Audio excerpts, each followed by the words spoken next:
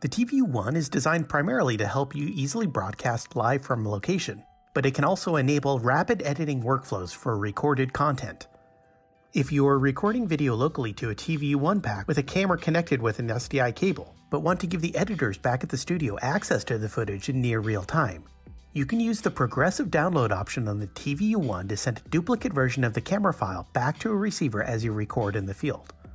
When used with an SDI camera, Progressive Download monitors the SDI connection for the start and stop record flags that are created when the camera operator presses the start stop button on the camera. The TVU One creates matching markers on its local copy of the recorded content, and at the same time sends a copy of the video through its high speed aggregated links back to the receiver.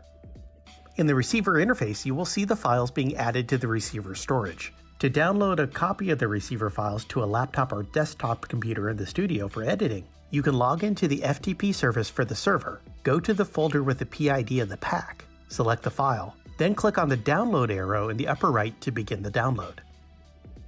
This allows editing to begin back at the studio as soon as the content has begun recording, and the camera operator at the location does not have to change their workflow at all.